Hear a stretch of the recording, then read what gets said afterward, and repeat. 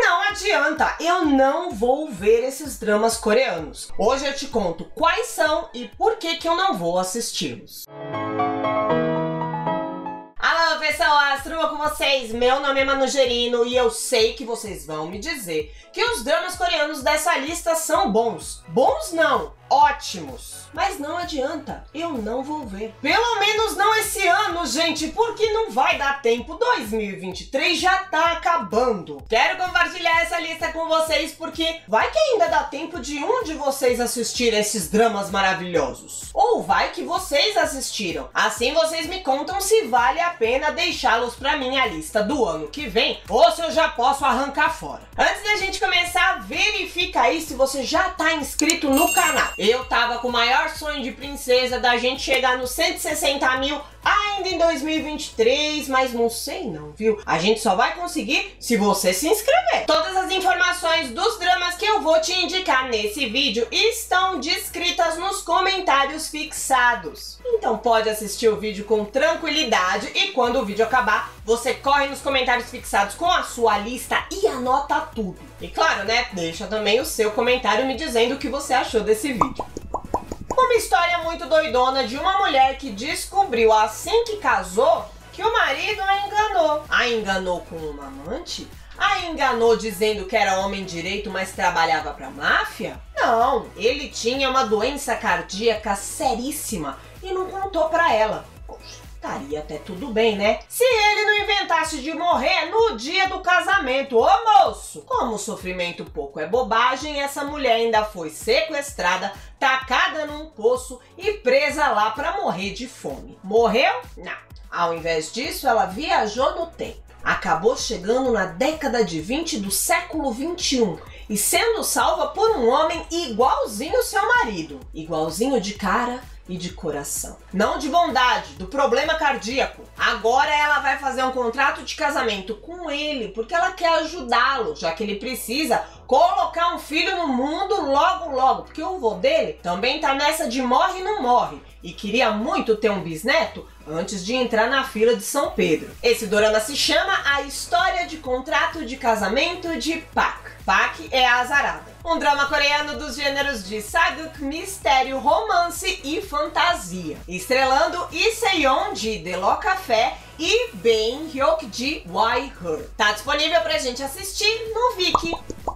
Outra história pra lá de Bagdá no quesito maluquice um homem e sua esposa decidem sequestrar uma menininha riquinha só para conseguir ali um dinheirinho de resgate. Normal. Ele liga para a família da garota, avisa que a sequestrou, mas nada do resgate vira. O homem começa a ficar com dó da menina, né? Poxa vida, ninguém vai pagar nem um saquinho de jujuba pra essa menina voltar pra casa, coitada. Vem, vai menina, eu vou te levar pra casa. Só que chegando lá, ele descobriu por que, que os pais dela não pagaram o resgate. Porque alguém entrou na casa dela e matou toda a família dela. Jesus Maria José. Por que, gente, que foram matar os pais da menina? Agora, o ex-sequestrador e novo melhor amigo da pequena vai ajudá-la investigando a morte dos pais dela. Ou, oh, eu mencionei que no meio dessa bagunça, esse homem atropelou essa menina, ela perdeu a memória, achava que ele era pai dela, e aí ela recupera a memória quando ela descobre que os pais de verdade morreram. Falei isso aí? Que tem tudo isso também. Este é O Dia do Sequestro. Um drama coreano dos gêneros de thriller, mistério,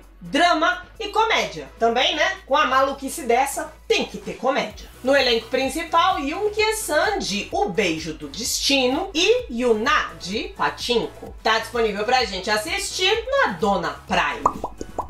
Um jornalista de nobre coração e uma marqueteira frustrada de alguma forma viajam no tempo. Vai vendo. Os dois voltam para 1987. E enquanto eu estava feliz e contente comemorando meu aniversário de três aninhos, Yoon Hee-jung resolveu que ia investigar um caso criminal tenso envolvendo um serial killer. Já Baekhyun resolve consertar o casamento de seus pais, que pode ter sido a primeira de todas as frustrações que ela teve nessa vida. Do nada, os dois descobrem que esses dois casos, o serial killer e o divórcio, na verdade, são um caso só. Ih! Dos gêneros de mistério, romance, ficção científica e drama, este é Meu Estranho Perfeito. No elenco principal, Kim Dong-wook de Delightfully Deceitful e Jin Ki-joo de A Partir de Agora, Hora do Show. Tá disponível para você assistir no Viki.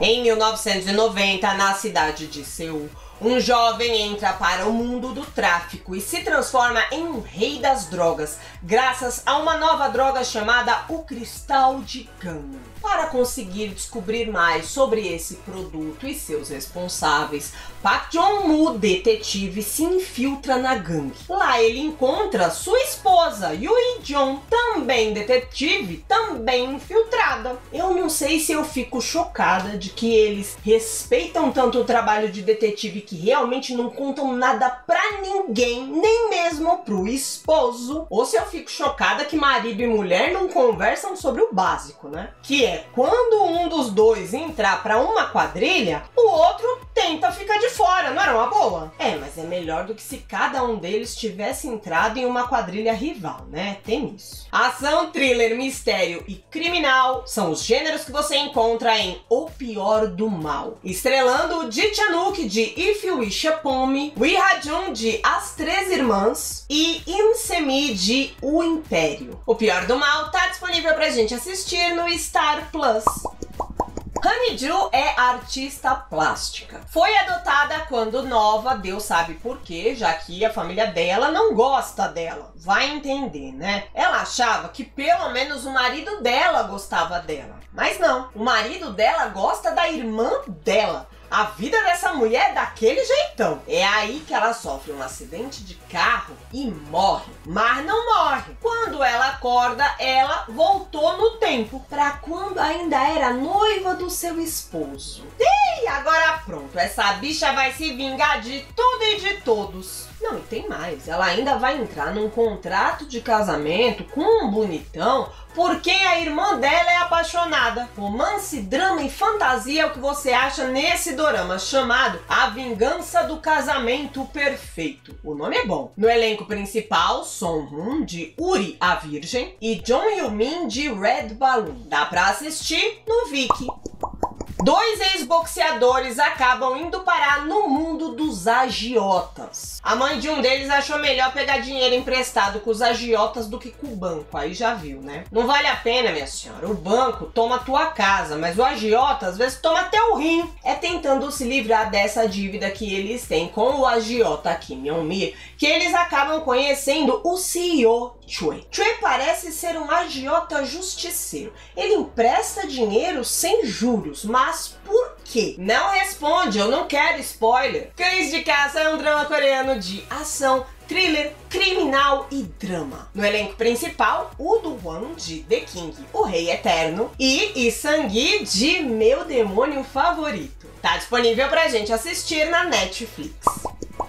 Jang Hyun é um homem frio que não ama ninguém. E sendo esse inimigo do romance, é muito estranho o rolo no qual ele foi se meter. Ao chegar em uma nova cidade, ele conhece Kirche. E essa jovem está apaixonada por Yeonjun. Ele também a ama, mas os dois nunca poderão ficar juntos, porque Yeonjun está prometido há muitos anos para Une, sua noiva. E você acha que a Une vai ficar brava quando ela souber sobre essa paixão entre os dois? Não, porque ela já sabe. Ela sempre soube. Ela é a melhor amiga da Kirche. Ninguém manda no coração. Ou melhor, o Jang Hyun, esse homem frio, pelo menos ele deveria mandar, né? Mas ele resolve se meter nesse rolo todo quando ele também se apaixona pela Girche. Este é My Dearest, um dorama dos gêneros de saguk, romance, drama e melodrama. No elenco principal, Nam Gung-min de The Veil e Anon Jae de The Good Bad Mother. Tá disponível pra gente assistir no Cocoa e no Viki.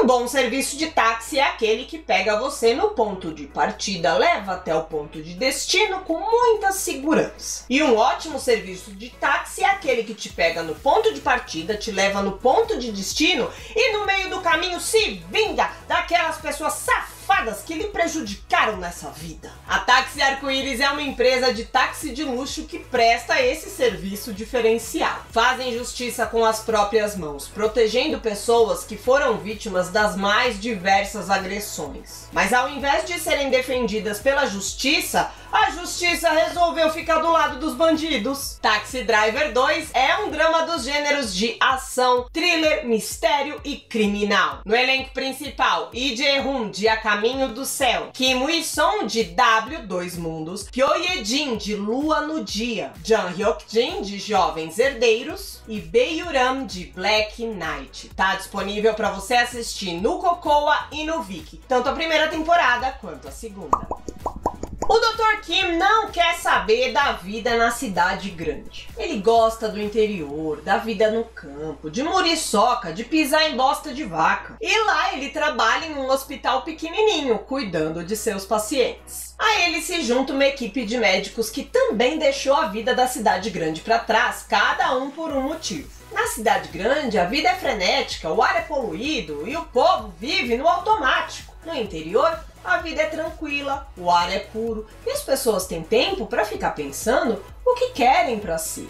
De onde viemos? Para onde vamos? Qual o sentido da vida? Doutor Romântico 3 é um drama coreano dos gêneros de romance, drama e também é um drama médio. No elenco principal da terceira temporada temos Han Seok-kyu de Receita para o Adeus, Han Hyo-sop de O Abismo Mágico e Lee Song-kyun de Isso se chama Amor. Só dá para assistir Doutor Romântico 3 em fansubs e eu vou deixar o nome de um fansub para você nos comentários fixados. Um Gyor de alguma forma volta no tempo e conhece seu pai na época que o seu pai tinha a sua idade atual. Alô, Marty McFly, é você? Ok. Os dois ficam até que amiguinhos mesmo, o pai achando muito estranho ter um garoto da idade dele o chamando de pai. E o Gyor também conhece a sua mãe e fica super feliz de ver o início do relacionamento dos seus pais. Ou melhor, ele ficaria feliz se ele visse o início. Mas o que ele vê é o pai dele apaixonado por uma outra menina que não é a sua mãe. Oxi!